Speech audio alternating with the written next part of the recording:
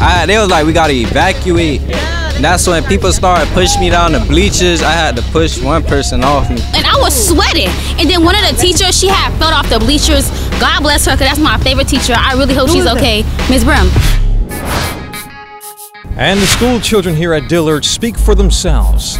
They are angry at the fact that they had to stay out there in the hot sun all because of one kid's buffoonery.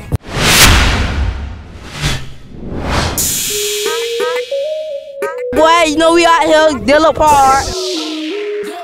Don't bring your ass back to our school because you had us outside for four mother five hours. Aggravated. Like you should honestly be ashamed of yourself. And I hope you stay in the pit for a long time. My mother always told me this Son, if you ever think about doing anything that you never done before, do it in front of a mirror, with me behind you with a belt, so I can smack some damn sense into you.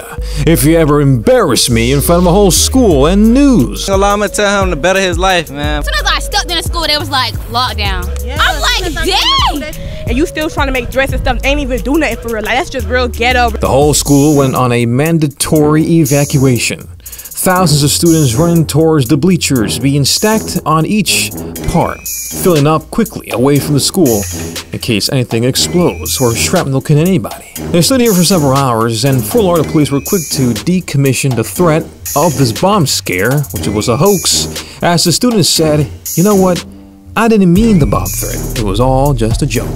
Well, it caused them to be placed in handcuffs, and the whole school to be on a frenzied panic as parents quickly rushed in to pick up their kids as fast as they could. The remainder of them went back to class. At around 2.40, they were ejected, and they went on their way back home. Yeah, I feel like it's crazy, man. We gotta be more careful with these kids, man. How to come out here and check on my kids, make sure everybody all right. I got grandkids out there, nieces and nephews. I remember one time that there was a kid that made a shooting threat when I was a senior, and that messed up our whole. It was our last day of high school, and that messed it up for seniors. And now I'm heartbroken. Now I feel like my whole high school was robbed, all because of that one foolish. I don't even know what happened to him. Maybe he's in jail. I don't know. Look, the point is, guys, is that stop playing games. Well, actually, play the games, but play the right way.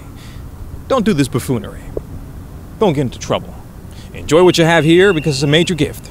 I'm the Breaking News Reporter, keeping it real here in Dillard, here in Broward County, South Florida, with the latest.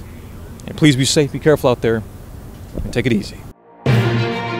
What in the world is going on in Broward County, South Florida? Don't miss with the Breaking News Reporter. Where this, all of this commotion happening right